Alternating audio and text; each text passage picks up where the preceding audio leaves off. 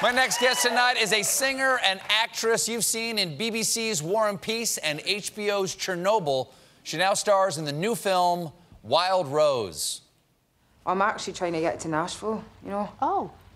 I'm, I'm needing to raise a couple of grand so I can get flights and hotel and I can't drive, so I'm needing a driver as well. And it wouldn't it be more than two or three, definitely less than five. Oh, Rose-Lynn, I. I'm sorry, I can't just give you money. That's what you're suggesting, which I'm sure it wasn't. No, it was.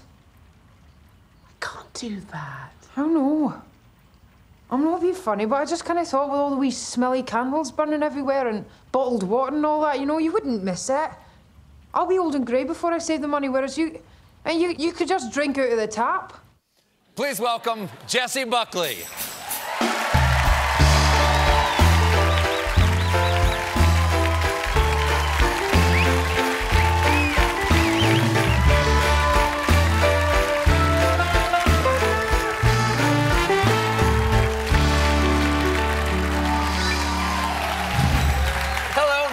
See you again. It's nice to see you. Now, the last time we saw each other was at the Montclair Film Festival. I saw Wild Rose there, and you, the, it's, it's, I think it's the, favorite movie I've seen this year. Aw. And you're extraordinary in it. Everybody should go see this movie just for your performance in it. Not just as an actress, but as a singer. You have just a beautiful voice. Tell, tell the people what the movie's about. Um, well, it's about a girl, well, about a girl called Rose-Lynn Harlan, who you meet her at the top of the film, and she's traipsing out of prison Yes. With an ankle monitor. with an ankle monitor, which she's not happy about. and um, she has a dream and a passion to be a country uh, singer and go to Nashville. But um, you slowly realize that she's also a mother and uh, the stigma of the mistakes that she's made and the judgment that she has for herself and what she feels people have um, is the thing which she is trying to work out. Now, i it, there, is there a country music scene in Glasgow? oh, yeah. Wh- wh- Why is there a country music scene in Glasgow? Because that's I found out that's a real thing, but I don't understand because that's that's like purely like an American art form that we don't think as being in another country. Man, you gotta come to Glasgow. It's unreal. You'll have the best night out. Oh, it's really? like well, it's, it's like the Grand Ole Opry in Glasgow does exist, and it's in the middle of the docklands. And on the outside, it just looks like this disused kind of building. Mm-hmm. And it used to be a morgue, which was then turned into a cinema. that sounds like a country song. yeah. and then was turned into a church for country music. And there's like a f- uh, full country band, line dancing. They take an American flag out at 12 o'clock. It's huge, you know, massive Oh, wow. respect. I've got to go. You've got to go. Now, you know, in, in, in real life, you, you got your uh, break uh, competing in an English uh, reality show that we don't, a British reality show we don't have over here. It's called I'll Do Anything. Oh, God. And there you are. I look like an insane sheep that's trying to fly. How old are you here? I was at 17. 17. Wow. And that must have been absolutely nerve wracking. Yeah, it was kind of a mad, like, I, I basically ended up doing it because I came over to London to try and apply for drama school to do musical theatre, and I didn't get into this school that I really wanted to go to. So there was this live, you know, open audition. I thought, well, I'll go and practice for my next one, not thinking anything.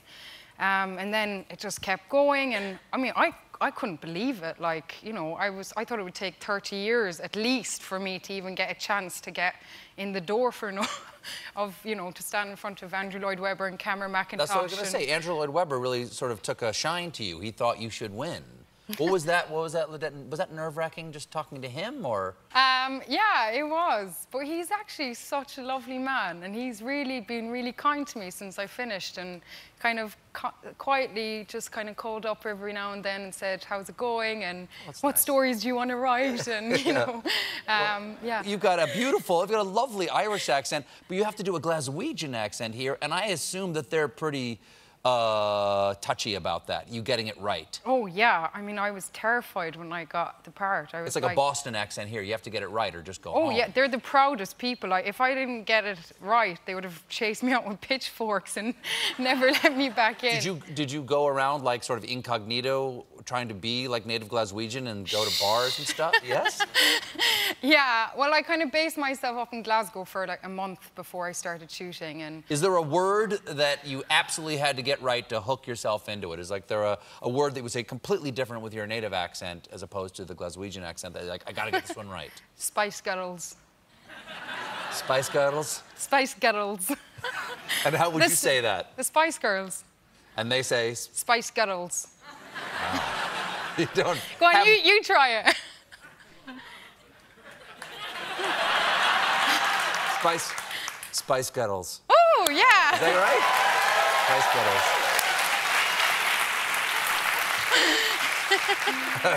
Spice Girls. oh, yeah. You're doing a song for us tonight. and the and the song is called Glasgow. And it was it was uh, written by Mary Steenburgen, I understand. Yeah. That I did not expect. I know, she's amazing. I mean, how much talent can one person have? Uh, yeah, we were like looking for a song for ages, and then she uh, had been, you know, got a kind of quote of what the song was, but being the incredible Oscar-winning actress that she is, she's, she emailed her agent and said, "Can I actually read the script?" And so read the script and wrote this song called Glasgow, which, when we got it th- through, we were like, "Oh my God, this is this is definitely the right song for our story." Well, stick around to hear Jessie Buckley perform Glasgow from Wild Rose. Jessie Buckley, everybody. We'll be